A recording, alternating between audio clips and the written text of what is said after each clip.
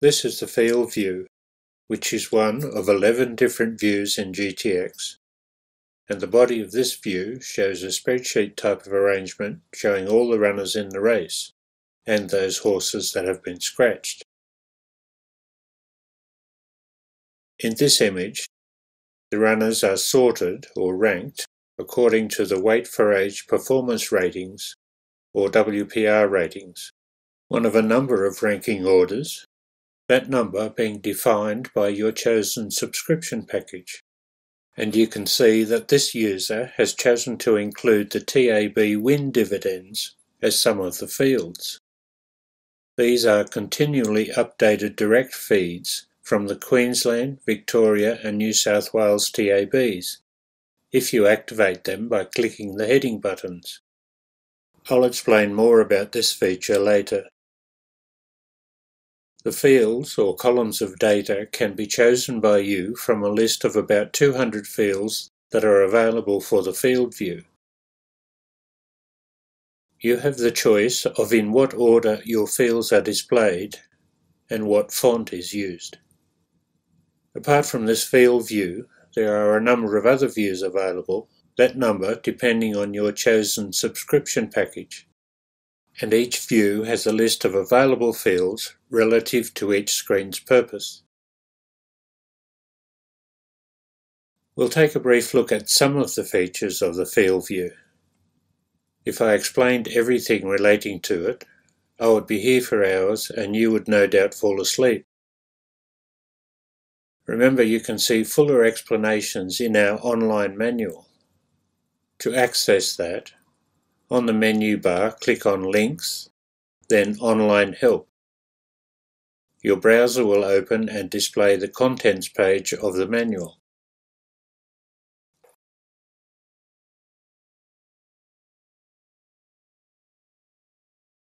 This is what we call the speed bar. On it, you can choose which already downloaded meetings to load into GTX, Choose Meeting Files, Jockey Files and Late Files to download. Send all loaded races to your printer. Send the currently viewed race to your printer. Switch the photo finish off or on. Backup and restore databases. View the messages that have been sent to you during file downloads. The Scratchings button has been superseded by the Scratchings links on the menu bar's Links tab. Those links take you to various web pages containing Scratchings information. You might as well get rid of the Scratchings button as it's no longer usable. To do that, hold down your Delete key while you click on it. The Systems button opens your System Developer or RaceDay Auto Selector if you have purchased either of those programs. Now to the rank bar. The runners in any race can be listed, or more commonly called ranked, in a number of ways and this can be achieved by simply selecting the relevant button on the rank bar at the left of the field view. Just a few examples are TAB saddlecloth order, GTX ratings order, Queensland, New South Wales and Victoria TAB dividends, GTX speed map ranked order displaying expected settling positions after the start. Weight for age performance ratings predictive order. This is our photo finish. You will have noticed while we were selecting the various ranking buttons that the images representing the runners in this big green bit were changing positions with each selection of a different ranking button. That's because they're indicating the finish of the current race as assessed by the net ratings of the selected rating. In this current view, that's the weight for age performance ratings. Please be aware that although this photo finish can be turned off, it must be visible for the GTX speed map to display if you want to use that feature. Just while we're here, the depth of the photo finish can be increased by placing your mouse pointer within the photo finish area and briefly holding down your left mouse button and decreased by your right mouse button. Now we'll go to the Views bar, which gives access to a whole bunch of other views via these buttons. This first one is for the Field View, which is the view you are now looking at and is used to get back to the field view when you're on one of the other views. Next to it is the Last Start Differences view, which shows selected fields of data that enable you to compare positive and negative changes in weights, distances, class values, barrier positions, etc. between each horse's last start and today's race. As with the other views, you can accept the default sets of data columns or change them to your own preferences. The data from this view can be printed as well. Next up is the Compare Previous Encounters view, which shows in chronological order the comparative details where two or more of today's runners have competed in the same race during their last 16 race starts. Again, the columns of data can be changed by you and the data is printable. Then we have the alphabetical listing view, which as the name suggests, lists all horses, including scratchings, accepted for the currently loaded meetings. All data columns that are relevant to this view are being used in the default configuration, but you can move them around to whatever order you want, or remove columns from the display. Following that is the dual acceptors view, which lists alphabetically all dual acceptors, which are horses that have accepted for more than one race amongst the meetings that have been loaded, even though those meetings may be on more than one day. This could include horses that have accepted for two races at one meeting, or one race at each of two or more meetings. Then there's the jockey view, which lists alphabetically all jockeys riding in the currently loaded meetings, followed by the trainer view, which, as you guessed, lists all the trainers with runners in the currently loaded races. Now, depending on your subscription package, you will have one, two, or three buttons to the right of the trainer view, which are labelled User 1, User 2, and User 3. These user views are in effect extra field views. Each comes with a default configuration. User 1 is set up to display daily jockey statistics. User 2 relates to various aspects of the WPR rating. And User 3 concentrates on each horse's career statistics. The columns in these views can be changed from the default to whatever you want, as is the case for the other views, including the field view. While we're on the topic of views, there's another one that we're not covering in this field view video, and that's the form view, which is accessed by clicking on the name of the horse whose form you want to look at. On it you will see a myriad of details and statistics relating to that horse's prior runs. Cycle through all the runners in the race with the next horse and previous horse buttons. To go back to your previous view, click on this little circular arrow, or the Field View button to go back to the field view. Okay, a few things that are handy to know in no particular order. The rail position for the currently viewed race is shown here. Over here are two clocks that are always visible at the top right of all views. The clock on the right is simply the current time as signified by your computer's time and matches exactly the computer clock usually seen on the Windows system tray at the bottom right of your desktop. If your computer clock is not set to the correct time, these clocks will not be accurate.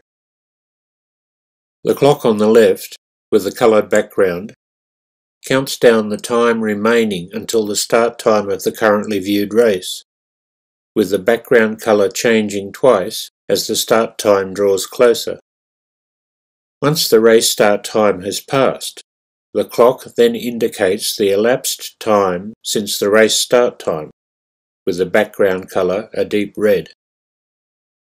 If you need to manually scratch a horse, just click its saddlecloth number button. To unscratch the horse, click it again. The track conditions of all today's races are entered automatically when you download the late file after 8.15am. The late file is updated with any new information throughout the race day, but you will need to manually download it. You can do that as many times as you like. Even so, the possibility could arise where you need to adjust track conditions manually for a particular race or meeting.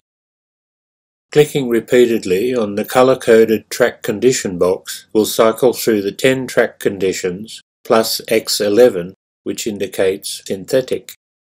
To change the indicated track condition for a particular race, click on the track condition box until the condition you're after appears. To change the track condition for the whole meeting, first set the condition for one race, then hold down the Control key on your keyboard while you click the same track condition box once more. Occasionally during a race meeting, something may happen that will cause the race club to put back the start times of the remainder of the day's races. The Amend Post Times feature allows you to adjust the post times or start times of the affected races. Click on Race, Amend Post Times, while viewing the meeting to be adjusted and the Amend Post Times box will appear. A single click in the text box containing the start time will advance the time by one minute. If, for example, in this race it was necessary to change the start time of the race to 10 minutes later, you would place your cursor over the indicated time for the race and click 10 times. Or click and hold down the mouse button momentarily and the minutes will increase quite rapidly. If you inadvertently go past the required time, using exactly the same procedure with the right mouse button will cause the minutes to cycle backwards. Of course, you will then need to adjust the times of the following races by the required amount.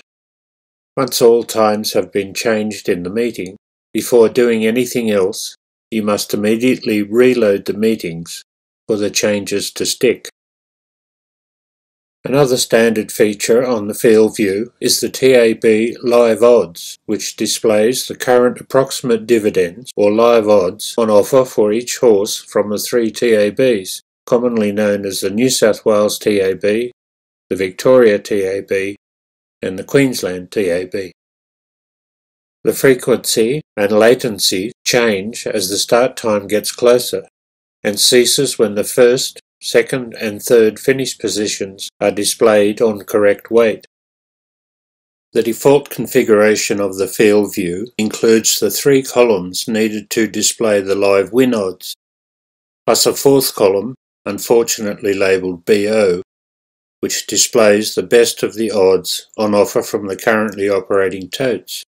At the left of the live odds columns is the TAB fixed column which is the price that is available from the TAB fixed odds bookmakers at the time of the update. You can also choose to add place odds columns for the three TABs. To view the live odds, obviously you need to have today's races loaded into GTX and you must have already downloaded the morning late file because it contains the TAB codes that are needed for GTX to access the three TAB's live feeds. Then just click each of the N, Q, V column header buttons to activate the TAB servers and you will notice the odds begin to appear. If you are connected to the internet, of course. The efficient operation of the live odds display requires that your local time is correct. Local time is a setting in GTX that ensures that races occurring in a time zone different to yours will be displayed with a start time as your local time. This can be set under Setup, Local time. Time offsets are the difference in minutes between your state and other areas. They need to be changed manually by repeatedly clicking in the relevant text boxes to increase the minutes and right-clicking to decrease the minutes. What you see here are the offsets required in New South Wales during normal standard time, not daylight saving time. They also need to be adjusted after each daylight saving change. Close and restart GTX to allow these changes to take effect. It is also necessary that your computer clock is set to the correct time and date and the correct world time zone is selected. Now to a few ways you can customize your field view. The first has to do with the columns of data, or fields as we call them. You can add, remove or reorganize these fields to suit your own preferences. This applies to all the views, including the form view. Start by right-clicking on a blank space or at least not on a horse name, and from the pop-up menu, choose Select Columns. The Select Columns Field View box opens, showing the current fields on the right. These are the fields that are currently displayed on your field view in the order that they are displayed. On the left is the list of fields that are available for you to include on your field view. To remove a field, simply double-click it. For demo purposes, I'll remove the user horse field. To add a field from the available fields to the current fields, there are two ways. 1. Drag the field to the position you want it in your lineup. I'll move allowance to a position just after the jockey. The second way is to double-click the field which will place it at the bottom of the current fields list, then drag it to the position you want. To reorganize the positions of your fields, just drag them to wherever you want them. Once you have the fields as you like them, you can open the Select Columns box again and click the Save button in the User Defaults section. If you manage to muck up your columns at some future time, you can come back and load your user defaults to restore your setup. You can also choose what font you prefer. On installation of GTX, the default font is MS Sans Serif Regular 8 point. My personal favourite is Verdana, so to change to that, I right-click a blank space on the main body of the screen and from the pop-up menu select Set Font. In the font box, in my case I find Verdana in the font list and select it. I'll leave the style and size as is, then click OK. The font on all views is now Verdana Regular 8 point. I have mentioned a couple of times about right-clicking on a blank space to bring up the Select columns and Set Font menu. Depending on the number of runners in the current race and the size of your GTX window, that may not always be possible. Really, you can right-click anywhere in the main body of the view, but not on a horse's name. That's reserved for editing the black book function and not on any column that allows you to enter your own data, such as form comments, horse profile, and user horse comments, none of which is showing in this current layout. And of course, not on the photo finish, in which a right click is used to reduce its depth, as I have mentioned previously. After you've made changes to your configuration, it's a good idea to save your new configuration as your personal defaults to guard against the possibility of some future glitch. To do that, up on the menu bar, click on Program, then Save User Defaults, then confirm by clicking Yes. If you need to reload your saved configuration at any time, click on Program, then Restore User Defaults, then again Confirm.